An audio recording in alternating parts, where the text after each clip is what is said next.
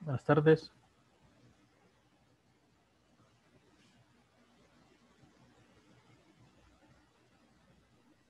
Buenas, Lick. Buenas tardes, Lick.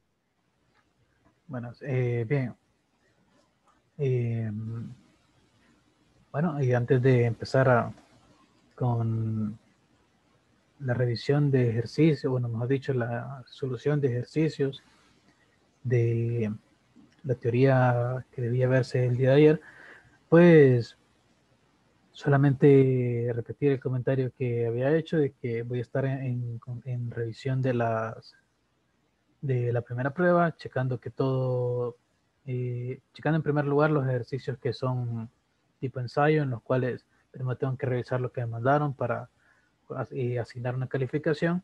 Entonces, por eso no, eh, no se preocupen, ahí las voy a ir eh, desarrollando poco a poco. Y una vez esté lista toda la revisión, yo les voy a notificar para que si aún así hay algún, eh, alguna duda o hay algo que ustedes consideren que está bien y, y que lo haya colocado mal, pues entonces me lo puede, me lo puede hacer todo el reclamo y el comentario que haga falta. Entonces, eh, lo digo porque de repente hay unos ejercicios que ya los está eh, poniendo como buenos o malos a partir de la respuesta automática, pero y todavía hay que hacerle revisión a, ese ejercicio, así que la nota que aparece ahora pues no es ni garantía de que o le fue bien ni garantía de que le fue mal. Entonces, eh, hay que esperar ahí al respecto. Entonces, bueno, y el caso es que independientemente de lo que haya sucedido, ya estamos en una, en una nueva unidad, la cual, eh, si ya observan los primeros dos videos, viene bastante cargada. Son bastantes cosas que vamos a ir eh, desarrollando. Y, y bueno, la verdad, eh, es sobre todo esta primera parte, la del inicio, la que puede costar, la que puede llegar a ser un poco más dura, pero en la medida que uno vaya agarrando soltura, esta parte se va haciendo más, más llevadera, por decirlo así. Uno agarra confianza y más soltura escribiendo y por lo tanto eh, logra un mejor desempeño. Entonces, bueno,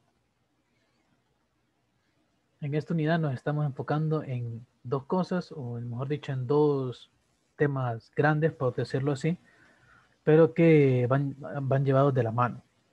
Esos temas son teoría de números,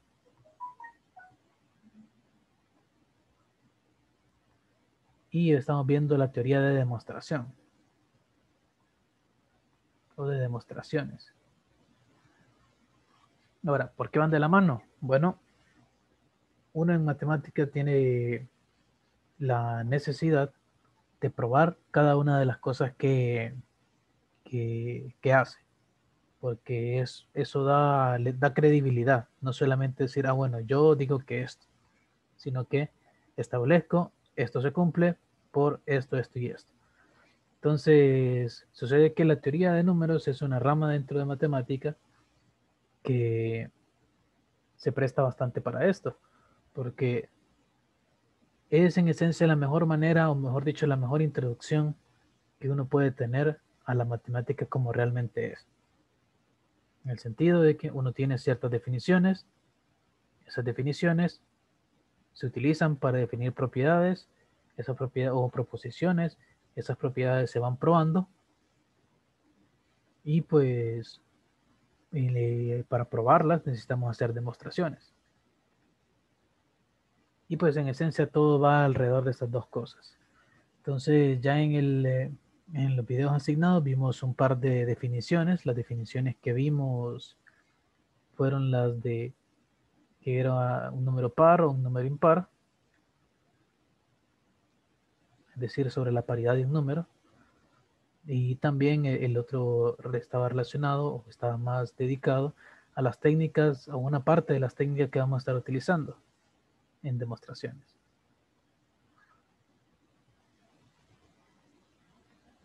Y principalmente las técnicas de demostración que se vieron eh, se conoce como eh, técnica de demostración directa y la utilizamos para cuatro, bueno, para, en esencia para probar o refutar dos tipos de enunciados que son los existenciales y los universales. Entonces, lo, lo primero que había que notar en la medida que ustedes desarrollaron los, los o fueron viendo los videos es que refutar una proposición existencial consiste en probar una universal y viceversa. Refutar una proposición universal consiste en demostrar una existencial. Entonces, si al ver los videos usted notó eso, eso es muy positivo para su comprensión, puesto que eh, era el primer objetivo, aparte de conocer lo que literalmente se dice, era el primer objetivo de, comprensión, lograr hacer ese análisis. Si no lo observó, no hay ningún problema, usted puede eh, revisar de nuevo esa pequeña parte de ahí y darse cuenta de ello. No, no siempre, y eso no lo hablo por que ustedes son estudiantes y el profesor, no, eso sucede a cualquier nivel. Cuando uno se enfrenta a algo nuevo, a veces nota cosas, a veces no lo nota, pero una vez se los, se los hacen saber, ya er, es mucho más notorio. Entonces, eso me pasa a mí en, en otras, eh, en otras teorías, eso le pasa a cualquier persona eh, cuando se enfrenta a algo que no ha conocido. Hay cosas que las nota, hay cosas que eh, no, no, las notó, pero luego alguien se las comenta y todo viene a la luz y es sencillo de ver luego de que se lo comenta. Entonces, bueno, ¿qué vamos a hacer el día de hoy? Vamos a resolver ejercicios en los cuales vamos a poner en práctica estos conceptos eh, que estuvimos viendo. Que por cierto, aquí faltó incluir el de número primo.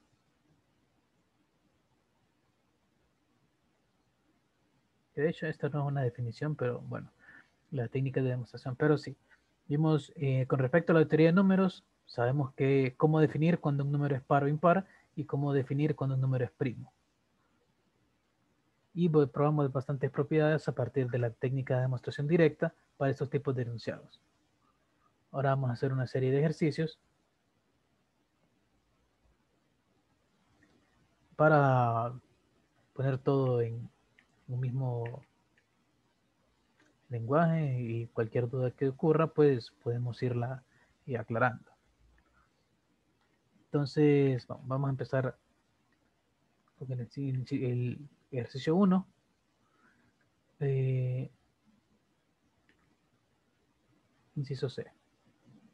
En este nos preguntan, ¿es 2K menos 1 un número impar?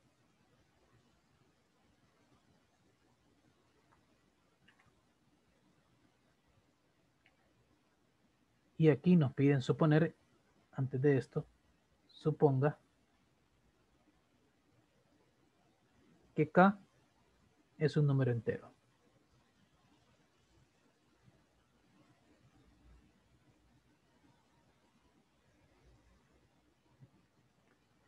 Entonces, si, es solamente así, sin justificación de momento, pregunta de sí o no, ¿es 2K menos 1 un número impar, siempre que K sea un entero? ¿Qué me dirían ustedes a partir de eso?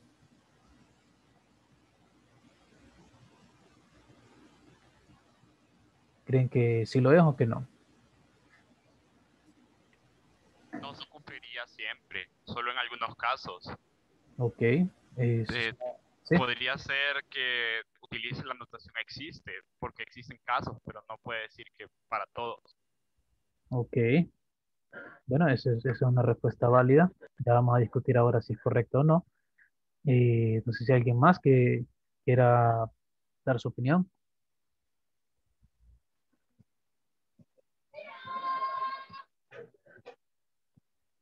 Bueno, entonces, vamos a ver.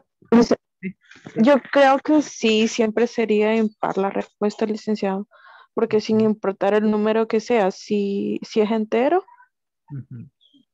eh, al multiplicarlo por dos siempre sería un par y siempre se le va a estar restando uno.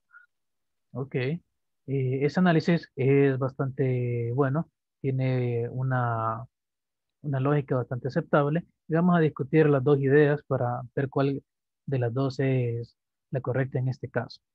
Entonces, eh, Aquí lo... creo que sí va a ser así, como dice ella, no me había percatado que era por dos la multiplicación. Y una multiplicación por 2 siempre da un, número par y restándole 1 eh, queda un impar. Entonces creo que sí se cumple lo que dice ella. Bueno, eh, bien y no hay ningún problema. Eh, todo el mundo puede rectificar las, eh, las opciones que, que por uno se decanta al principio y no hay nada, no hay ningún problema en eso, así que bien. Vamos a ver. Ahora, lo primero que tenemos que ver aquí es que eh, tenemos que nosotros evidenciar qué tipo de enunciado me están dando aquí. O sea, ¿cuál es esta pregunta?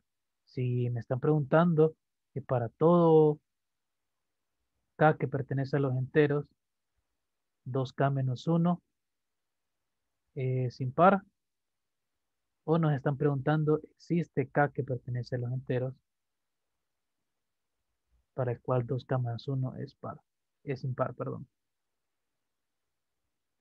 Entonces, ¿cuál de estas dos es la, es la correcta? Pues bueno, este K, ¿qué sabemos de él? Simplemente que es un entero. No hay ninguna propiedad adicional, solamente que es entero. O sea que esto, este K, dicho de otra manera, es un elemento fijo, pero arbitrario. Es decir, puede ser cualquiera. Eh, o sea, es un, un, K que no va a cambiar, o sea, no le vamos a ir cambiando los valores acá, pero es arbitrario, así que puede ser cualquiera. Entonces, si recordamos bien de la parte en el video en el que se platicó sobre eso, pues dijimos que si una propiedad se cumple para un, para un elemento fijo pero arbitrario, entonces se va a cumplir para todos. Así que, en definitiva, la respuesta es que nos están haciendo una pregunta de este tipo. ¿Por qué? Porque aunque no hay un símbolo de para todo ni diga para todo, este con, con el que estamos haciendo nuestra prueba o lo que estamos haciendo en nuestra proposición es un elemento fijo pero arbitrario. Ok, entonces tenemos que probar una proposición de forma para todo. Eh, ahora, hay que ver si es cierta o es falsa. Esa es la otra cuestión. Ya nos estemos decantando porque era verdadera. Entonces, ¿cómo vamos a demostrar eso? Porque a partir de este punto, no va a bastar con decir, ¿es cierto? No es cierto. O eh, si se cumple o no se cumple. Ahora tenemos que decir si se cumple por esto o no se cumple por esto. Entonces vamos a ver. Primero pongamos todas las armas en la mesa. ¿Qué es un número impar? Un número impar. Eh, decimos, pues, decimos que n es impar. Sí, solo sí n, si existe un entero, no le voy a llamar k porque ya estoy usando un k, voy a llamar r. Si existe un r, tal que n es igual a r entero,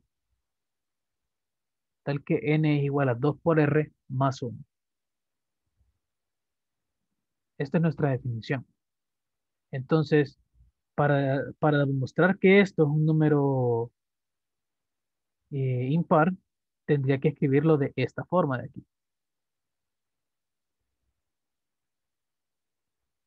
Entonces, bueno, vamos a ver. Veamos que 2K menos 1. Y aquí es simplemente una cuestión de encajarlo. Y este truco es, es viejísimo. Este truco no, no puedo decir que yo que lo inventé o no. Simplemente es un truco, un truco viejo. Entonces, ¿Qué pasa si yo sumo 2 y resto 2? Ok, en teoría pues no debería pasar nada porque solamente estoy agregando 0 en total, pero lo, el truco, por decirlo así, está en cómo utilizo esto, este 0 de aquí. Porque vean lo siguiente. Voy a hacer esta agrupación.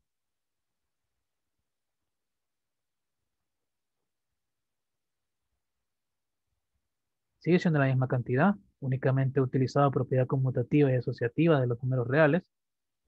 en particular de números enteros, pero esto de aquí lo puedo escribir como 2 por k menos 2, perdón, 2 por k menos 1, y esto de aquí da 1. No conforme con eso, resulta que esto de aquí es entero, porque es una resta de enteros. Entonces, ¿qué acabo de hacer? Tomé mi número y lo escribí de esta forma. Donde ¿quién es R? Bueno, R sería esto. K menos 1. Entonces, por lo tanto, es impar. Así que 2K menos 1 es impar.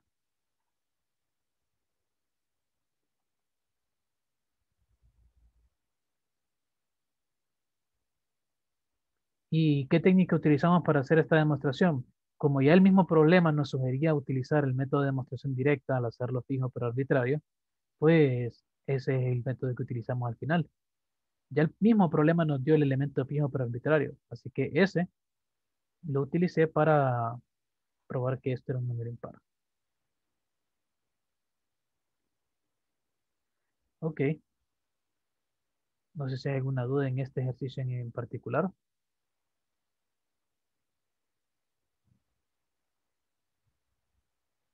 Ahora, el, solamente hago el comentario que el, argumento... Pregunta. ¿Sí?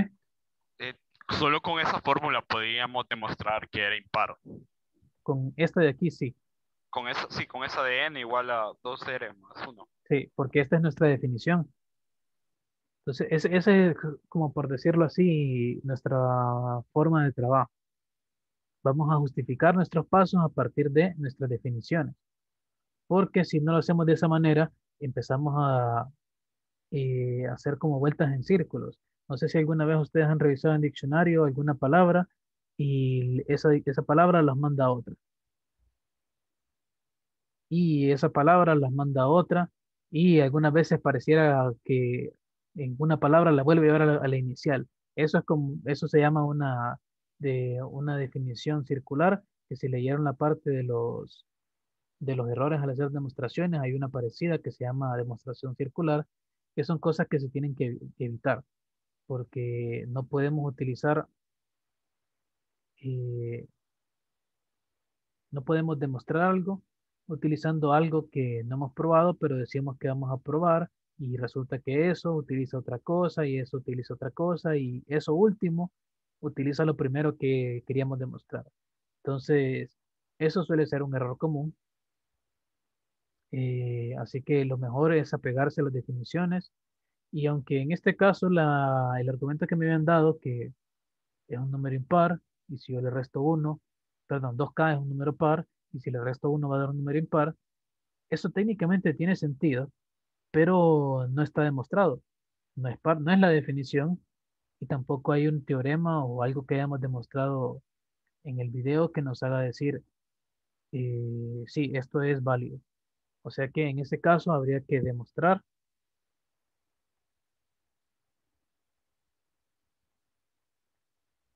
que si n es par, entonces n menos 1 es impar.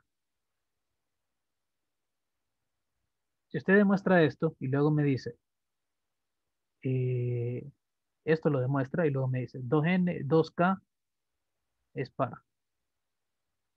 Entonces 2k menos 1 va a ser impar. Entonces, si usted me demuestra esto, usar este argumento es completamente válido.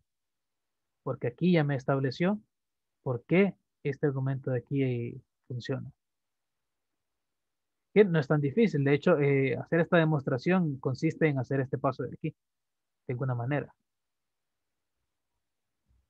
De hecho, no, exactamente esto serviría para hacer esta demostración, solo que habría que decir, bueno, si n es par, entonces es de la forma 2k, entonces 2k menos 1 es de la forma e, se puede escribir de esta manera, y llegar a esto.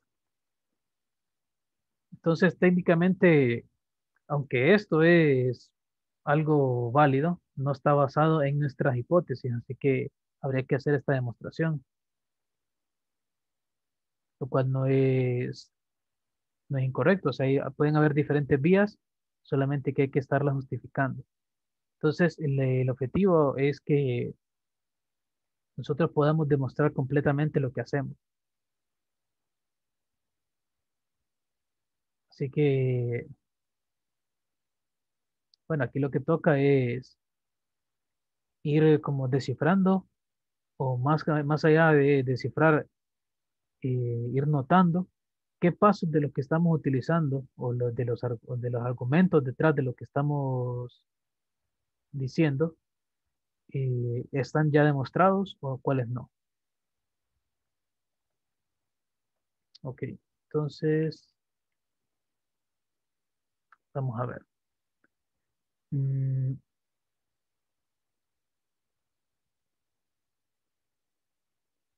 Ok.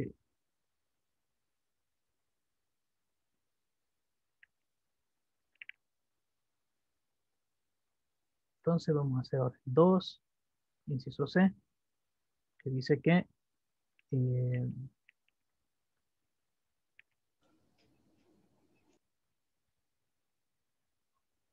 suponga que M y N son enteros.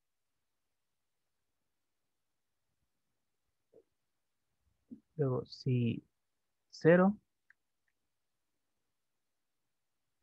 no, está escrito exactamente si es m mayor que n mayor que 0.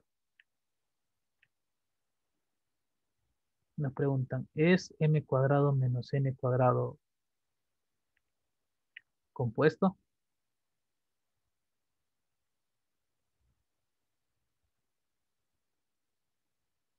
O bueno, de hecho voy a modificarlo para hacerlo un poco más interesante.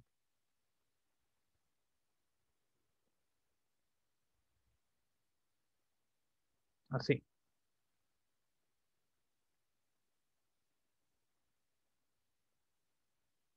Este es como un 2, inciso C, asterisco, porque lo modifiqué un poco. Entonces nos preguntan, ¿es esto un número compuesto? Entonces vamos a ver.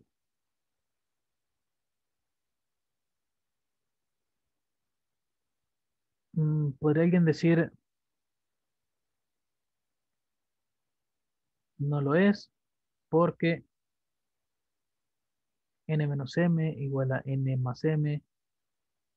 Eh, ya. Si usted me da este, este, argumento, no, no es suficiente. ¿Por qué? Para empezar, eh, lo que está, eh, o sea, si es cierto de que es cierto de que esta igualdad se cumple. Entonces usted puede decir, bueno, pero estoy factorizando esto como el producto de dos cosas, entonces tiene que ser compuesto. Pero ahí no acaba todo. Usted me tiene que verificar de que tanto este como este no, son, no pueden ser igual ni a uno ni a todo el, la expresión. Si alguno de estos dos es igual a uno, entonces ya no es justificación diferente para decir que que, es compuesto. Entonces, este argumento no sería válido todavía. Habría que profundizar un poco más en él. Habría que demostrar de que estos de aquí son números que están entre 1 y n cuadrado menos n cuadrado. Cada uno de ellos, los dos. Que esa es nuestra definición para el número compuesto. Eh, perdón, me perdí un poco. ¿Qué era lo de compuesto? Eh, bueno, en la definición de número compuesto, eh, nosotros hemos escrito que si podemos escribir a un número, voy a usar otra letra para no mezclarlas con las de aquí. Eh, A es compuesto, si lo puedo escribir como R por S, donde, perdón,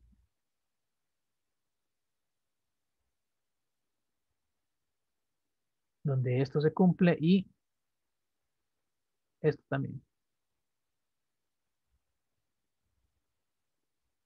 Y de hecho hay una cosa más. Y A es compuesto. Sí, solo sí. A es mayor que 1. Y esto de aquí. Básicamente todo esto son I.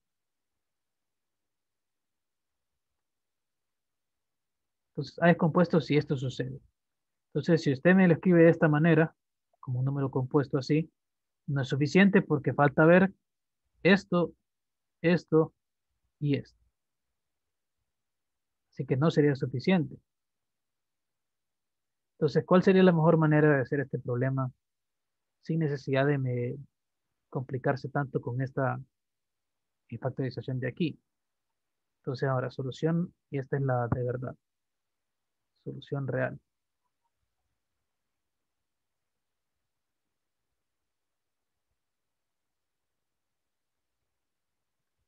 Entonces, mm, aquí observen que la pregunta está abierta, o sea, no le pide ni demostrarlo ni refutarlo, aquí es que usted vea. Entonces, lo primero que notamos es que si queremos revisar cada una de estas, eh, tenemos que n cuadrado menos m cuadrado es menor que cero.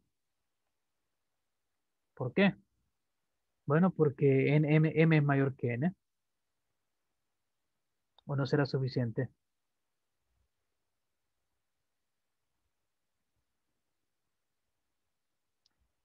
Vamos a ver. Sí, sí, suficiente.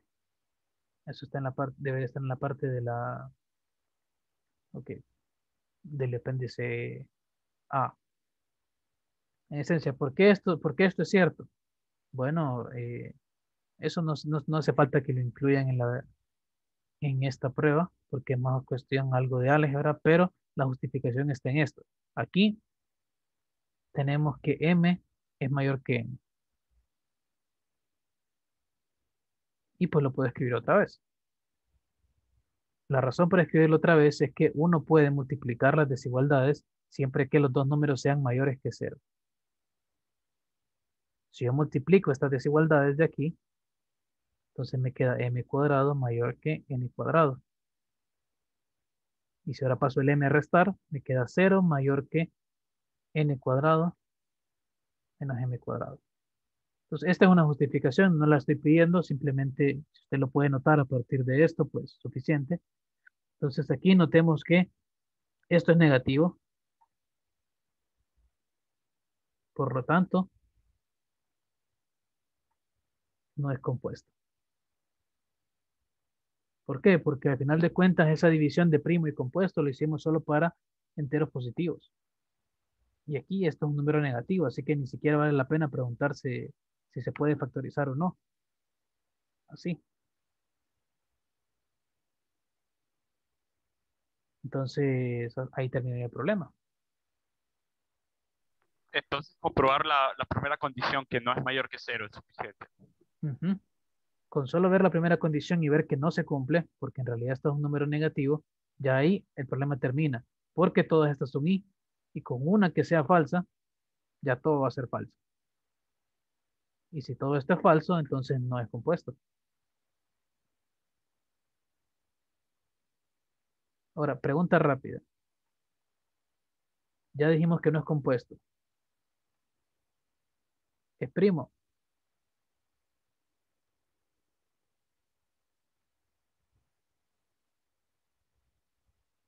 ¿Es número primo o no lo es?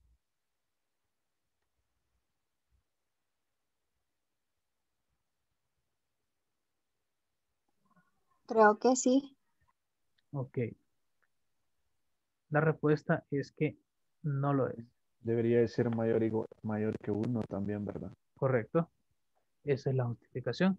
Para que sea primo, al igual que para que sea compuesto, los dos llevan esta primera hipótesis de que sean mayores que uno. Entonces, eh, si, si en ambos casos no se cumple esto, entonces no va a ser ni primo ni compuesto. Es simplemente, o sea, eh, es como que eh, ustedes digan que el perro es un color. No son, no son compatibles. O sea, no podemos decir si es primo compuesto o si es un negativo. Entonces, es simplemente algo que no está dentro de la categoría de lo que llamamos primo o compuesto. Ahora, si, si todo esto fuese mayor que uno, ahí sí, eh, si todos, si nuestro número fuese mayor que 1, si hubiésemos llegado a que no es compuesto, ahí sí sería primo.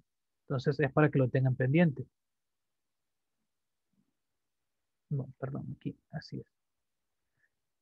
Eh, entonces, no siempre cuando no sea compuesto es que automáticamente es primo. Tiene que cumplir que sea mayor que 1.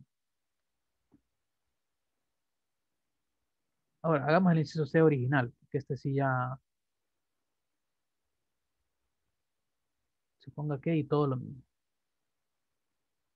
Eh, todo es igual y aquí es m cuadrado menos n cuadrado compuesto. O sea, todo lo demás del problema es exactamente lo mismo. Solo que ahora nos preguntan si es compuesto. Ahora sí, como esto es positivo, esto es mayor que cero, entonces, ¿qué tenemos? Bueno, sabemos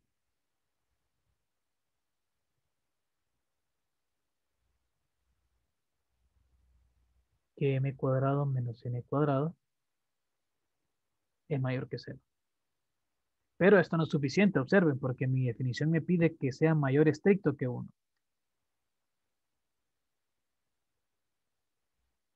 Entonces, ¿qué puede suceder aquí? Bueno, eh, sucede que tenemos que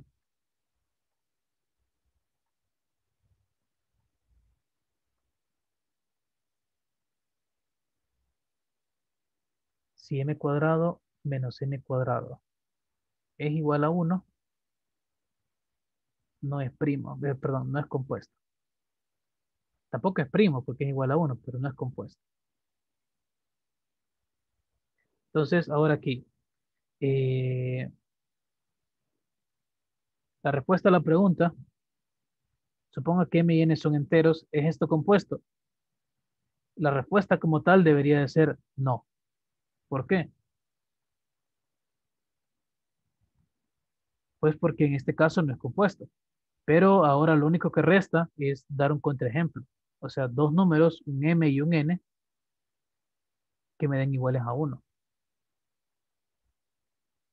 Tal que así, al hacer esta operación me dé 1. Esos no son sencillos de encontrar. Esos no son difíciles de encontrar. Veamos que m igual a eh, vamos a ver. Ok. A ver, pregunta Daniel que por qué igual a 1. Bueno, eh, porque no puede ser compuesto por la mera definición que tenemos acá arriba para que sea compuesto, primero tiene que cumplir que sea mayor que 1. Así que si esto es igual a 1, no es compuesto. Entonces, ¿qué vamos a hacer ahorita? Vamos a ver si esto es posible. Entonces, m cuadrado menos n cuadrado igual a 1. Entonces, ¿qué pasa si quisiéramos resolver esto de aquí? Entonces tendríamos esto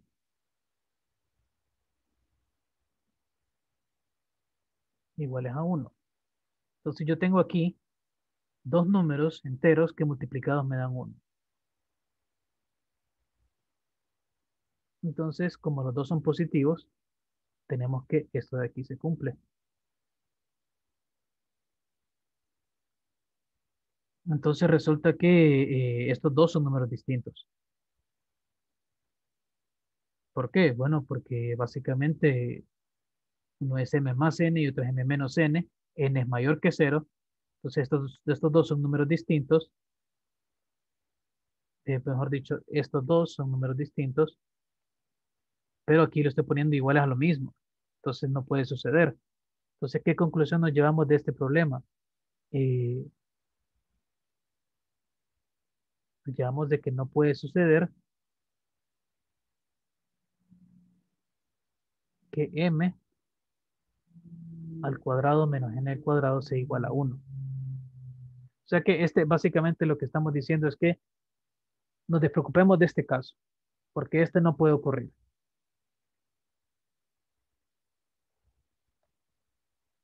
Ok, entonces, mm, si eso no puede ocurrir, entonces ahora sí.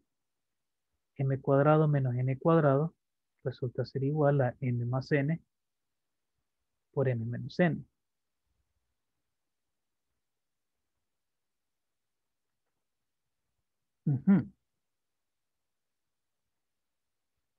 Ahora, esto es suficiente para decir que es compuesto. Para ver si es compuesto, ambos términos en los que estoy factorizando tienen que ser mayores que 1 y menores que, eh, ¿cómo se llama? Menores que, el valor original A. Entonces vamos a ver. En esencia, si uno de estos dos es igual a 1, entonces ya no se podría. En otras palabras, de aquí lo que estamos intentando hacer es ver que esto no sea primo, no sea un número primo, porque ya, ya tenemos garantizado de que es mayor que 1. Entonces, eh, bueno, resulta que eh, se puede encontrar una manera en la que esto sea un número primo.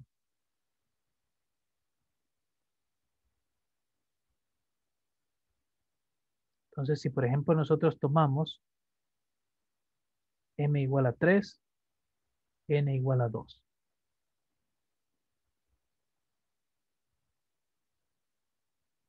¿Qué sucede en este caso? Entonces, m al cuadrado menos n al cuadrado no es nada más que 3 al cuadrado menos 2 al cuadrado, que esto es 9 menos 4, que es igual a 5. ¿Y 5 qué es? Es un número primo. Entonces, eh, esto de aquí no es un número compuesto porque hay un caso en el cual me da número primo. El ejercicio realmente estaba pensado para que solo fuese así, pero se nos extendió un poquito más por esta posibilidad. Entonces, eh, la idea del ejercicio estaba pensado en que fuese solamente esta parte de aquí porque sí, e, es cierto, yo puedo factorizar esto, pero eso no me da garantía de nada. Y de hecho, más allá de intentar demostrarlo, resulta que puedo encontrar un contraejemplo en el cual esto de aquí me da igual a un número primo. El objetivo del ejercicio más que todo era esto. Eh, ahora no me quedó claro, pero si encontramos un contraejemplo, entonces está, ¿se cumple o no al final? No, aquí la conclusión es que no es compuesto. Ah, ok. O sea, así como está redactado el problema, es que no es compuesto. Porque está redactado de la misma forma del anterior. el ejercicio era básicamente que para todo m y n que están en los enteros, y se nos pedía ver si era cierto o era falso que m cuadrado menos n cuadrado es compuesto. Y pues como encontré un contraejemplo, pues no lo es. Todo esto es falso. Sí. Pero nosotros para dar una solución al ejercicio podemos usar un contraejemplo. Eh, si, el, si el ejercicio está expresado en forma de para todo, entonces sí, se puede dar un contraejemplo. Gracias. Listo. Lo que sucedía al principio era que yo quería encontrar un contraejemplo por este lado de aquí, pero eh, no, no salió como quería. Este contraejemplo era mucho más sencillo. Entonces, bueno, vamos a ver otro ejercicio en el cual pues queden las ideas mejor ilustradas. Eh, vamos a ver. Mm.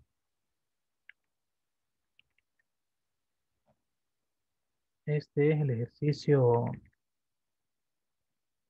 7. Este nos piden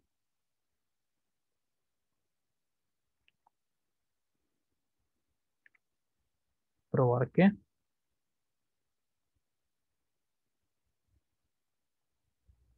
hay un número entero positivo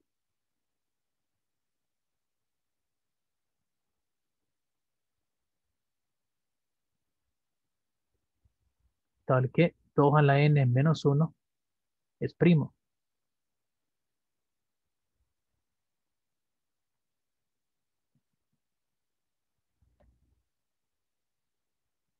Entonces, lo primero que notamos es que la forma en la que está redactado es, existe n enteros positivos, tal que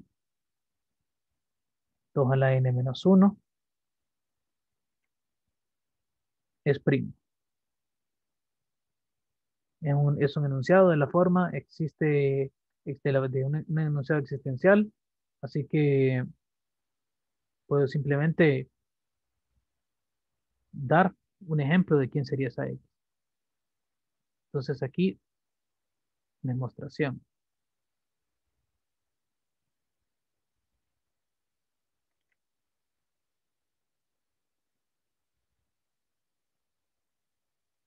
Veamos que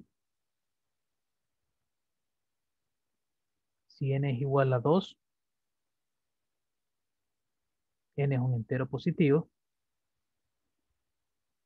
y 2 a la n menos 1 resulta ser igual a cuánto? Sería 2 a la 2 menos 1, 3.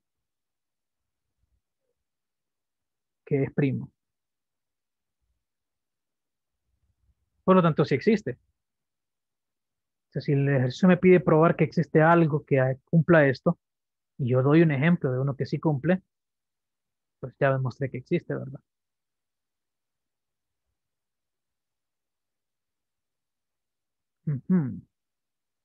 Vamos a.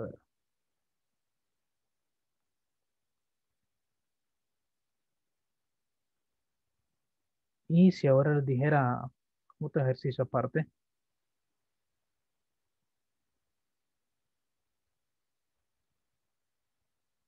Refutar que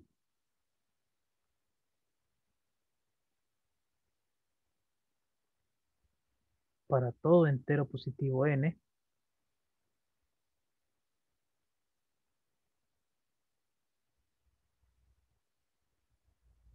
2 a la n menos 1 es primo. O sea que en lugar de decirles que prueben a ver si hay uno que existe, les, les digo eh, qué pasaría si cambio esto por un par todo. ¿Seguirá siendo cierto? ¿Será que falso? En este caso, pues desde que le digo refutar, entonces ya le estoy diciendo de que no va a ser cierto. Entonces, bueno, estamos refutando un enunciado de esta forma para todo n, entero positivo, 2 a la n menos 1 es primo. Si lo refutamos, entonces lo que queremos negar, eh, perdón, lo que queremos probar es la negación, que sería existe n aquí, tal que 2 a la n menos 1 es compuesto. Ahora, aquí, ¿por qué estoy utilizando compuesto como negación de primo? Pues porque aquí, eh, no importa el valor que tome eh, n, esto siempre va a ser mayor o igual que 1. Ese es el pues, conocimiento de 110 básicamente. Esta es una función exponencial. Sabemos que es igual a 1 cuando n vale 0, pero de ahí en adelante, pues esto es, es mayor que 1. Entonces, bueno, de hecho, mm, si se fijan, cuando n vale 1, no es ni primo ni compuesto. Así que básicamente vamos a decir que, bueno, hay que encontrar un n entero positivo tal que este no es primo.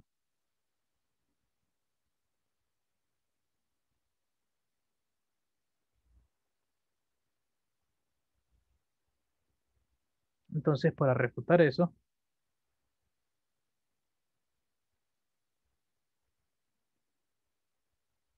Entonces, eh, podemos encontrar simplemente quién es ese n en el cual este no sea primo. Y, por ejemplo, si yo digo tome n igual a 1.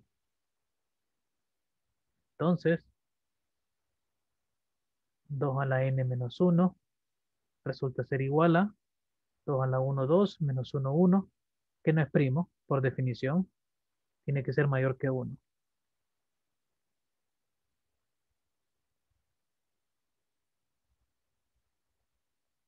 Pero vaya, supongamos que yo el ejercicio lo hubiese redactado diferente y hubiese agregado aquí para todo entero positivo mayor que 1. Si hubiese agregado esto, este contraejemplo ya no me sirve. Porque estoy agregando esta restricción de aquí, que sea mayor que 1. Eso, y si suponemos ese caso, de igual manera se puede probar que se puede probar o se puede refutar. Solamente hay que encontrar el n adecuado. Ya vemos que si pongo n igual a 2, esto me da 3. Si pongo n igual a 4, perdón, igual a 3, eso me, esta, esta expresión me da 7, que sigue siendo primo. Pero si yo le doy n igual a 4, entonces me queda 16 menos 1, 15. Y 15 ya es número compuesto. Así que no es primo. Entonces, si yo le doy esto de aquí, le di, si, entonces usted me puede decir, bueno, tome n igual a 4. Entonces, 2 a la n menos 1 es 15, que no es primo. Entonces aquí le doy la solución como, como estaba redactado, con esto era suficiente. Pero si le agrego esta condición, el contraejemplo que usted ocupa, pues puede ser este. Hay más. Puede haber más de un contraejemplo, pero este le puede servir. Ok. Y en esencia, pues, y refutar una función para todo, como les decía, consiste en probar una existencia. Pero con n igual a 1 era suficiente con que usáramos ese, ¿verdad? Como, como, estaba redactado originalmente, con n igual a 1 era suficiente. Ya esta era una pequeña modificación por si, eh, para ver que existían más casos. Pero esta era una pequeña modificación que le hice para agregar esto, pero en sí con la primera era suficiente así como estaba redactado. ¿Y n igual a 0? n igual a 0 no cabe porque es entero positivo. En los dos casos. Tanto la modificación que le hice como el original decía entero positivo, entonces n igual a 0 no podía, no caería dentro de algo válido aquí. No daría número primo, pero no es el, conjunto que nos interesa.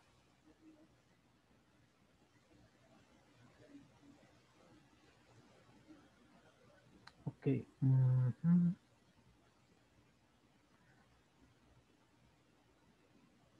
Vamos a ver.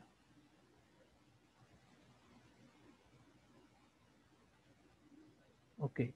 Ahora vamos a refutar lo siguiente. Bueno, ya hicimos uno de, de refutar, así que mejor vamos a hacer uno de estos. Eh, vamos a ver. Mm.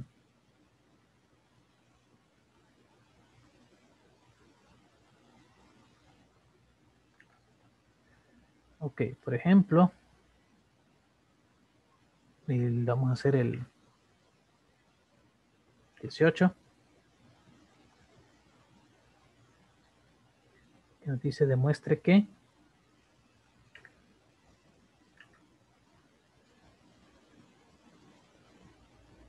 para cada entero n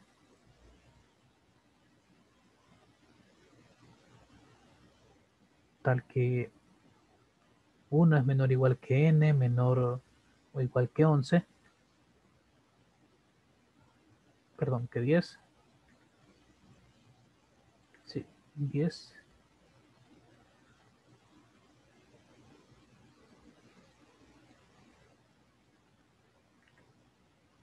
el número n cuadrado menos n más 11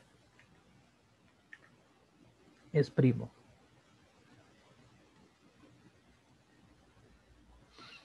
Entonces aquí nos piden demostrar, es decir, nos piden probar de que es cierto esta expresión que tiene la siguiente forma para todo n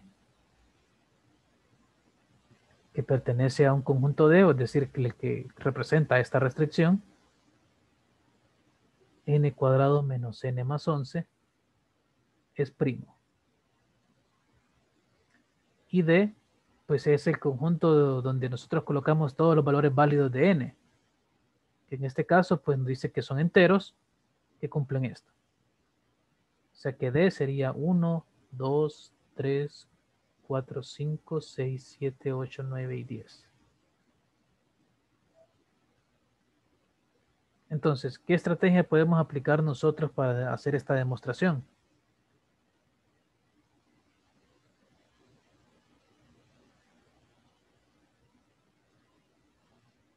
Pues podemos utilizar el método que se vio en las, eh, bueno, que se mencionó en los videos, que se llama el método exhaustivo, el método de, de, de agotamiento, ¿sí? le había dicho.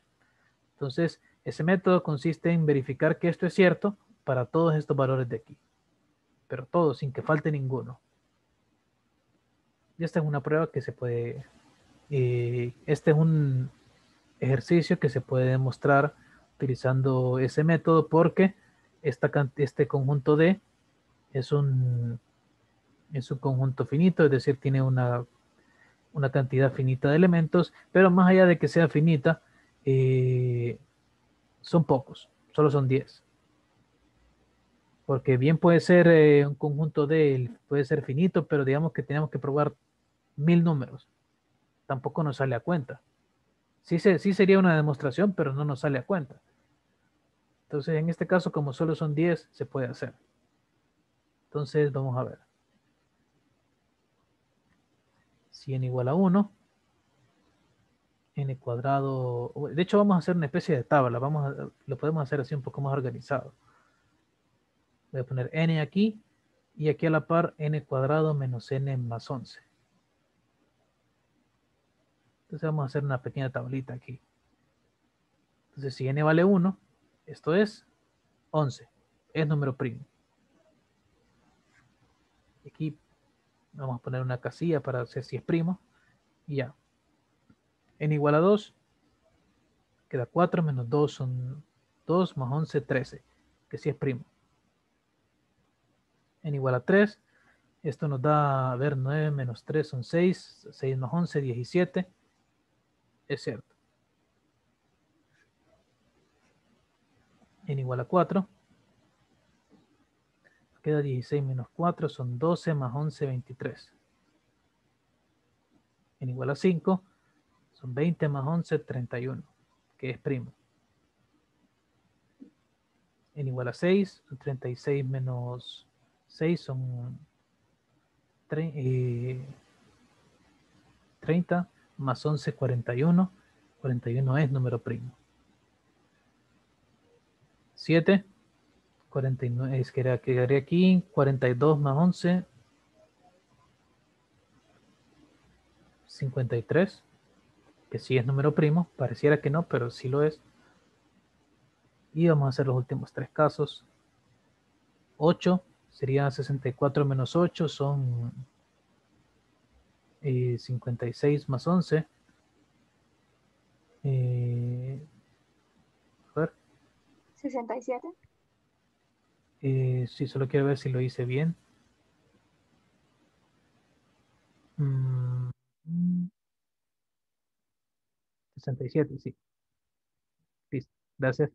Eh, que si es primo, que por un momento había pensado que no era primo, pero sí lo es. Por eso mi duda. Eh, ahora 9 serían, a ver, 81, 72 más 11, 83. Que sí, también es número primo. Y por último, 10 sería 90 más 11, 101, que también es primo. Entonces, una vez hagamos esta tabla, por lo tanto, está demostrado. No es la forma más elegante, ni cuando menos, de cómo hacer una demostración, pero demostrado.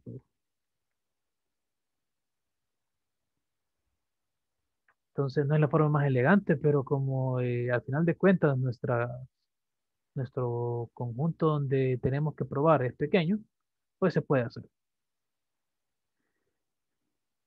Ahora, si yo les preguntara eh, ver si es cierto que para cada entero n, sin esta restricción, sino que en general ya libre, esto es un número primo, pues resulta que eso ya es falso. Y el contraejemplo sería n igual a 11. Ustedes pueden evaluar ya esto en 11. Está fuera del conjunto, sí, pero solamente para verificar. Si ustedes ponen n igual a 11 aquí, les da 121. 121 ya no es número primo porque eh, se puede escribir como 11 por 11. Entonces, eh, realmente el ejercicio lo pusieron hasta 10 por eso, porque ya en 11 no se cumple. Y además sirve para mostrarles de que mm, con que vean que ustedes se cumpla para los primeros números, incluso los primeros 10 números, no significa que siempre se va a cumplir. Entonces, solo para culminar, solamente menciono aquí que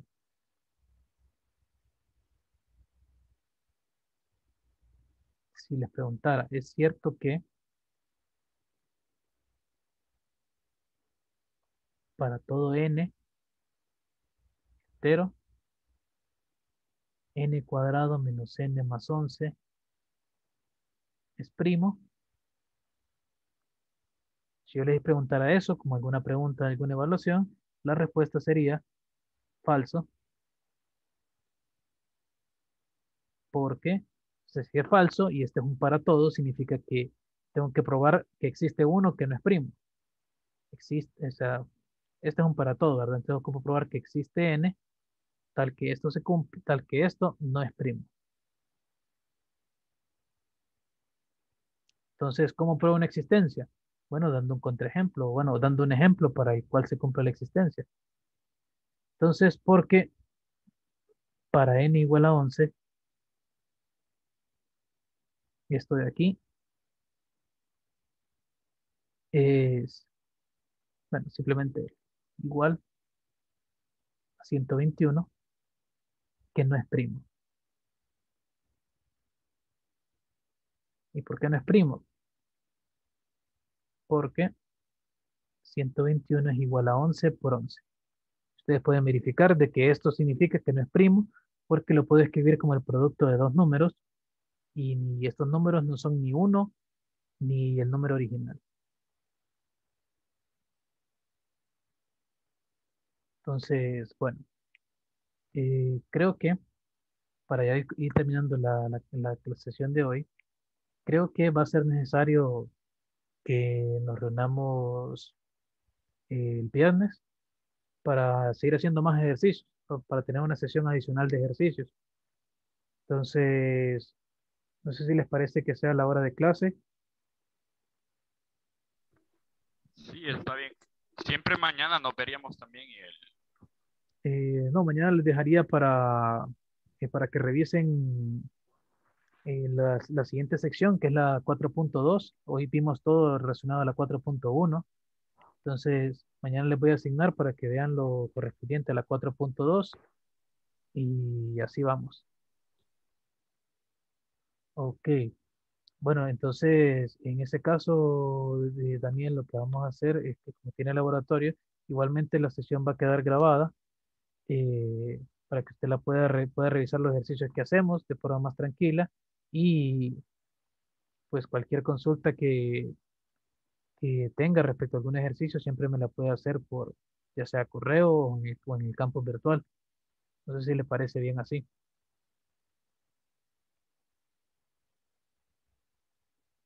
Igual, si, si vemos que es necesario, es posible que hagamos la sesión quizás extendible media hora más, solo, solo en caso de que sea necesario. Vamos a planificar 60 minutos, pero si de repente hay más ejercicios que puedan eh, o que representen algún, algo positivo para la clase, entonces de repente nos extendemos un poquito más. Pero bueno, por lo menos de 3 a 4 vamos a estar